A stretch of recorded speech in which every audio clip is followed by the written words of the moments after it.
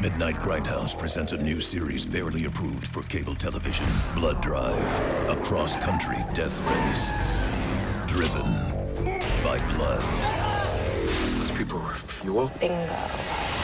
Buckle up for a Grindhouse infected world so twisted it has audiences crying. I can't believe that TV has come to this. Welcome to the nastiest road race in the world. Blood Drive, coming in June to SYFY.